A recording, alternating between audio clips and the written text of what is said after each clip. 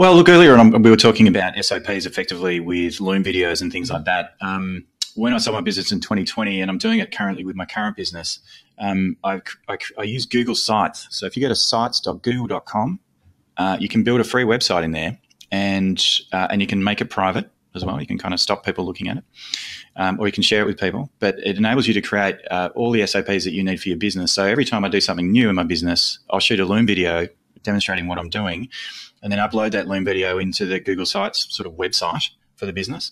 Uh, and then you can transcribe. There's a lot of AI stuff out there that will, you know, like otter.ai, etc., that will transcribe what you've said in the video.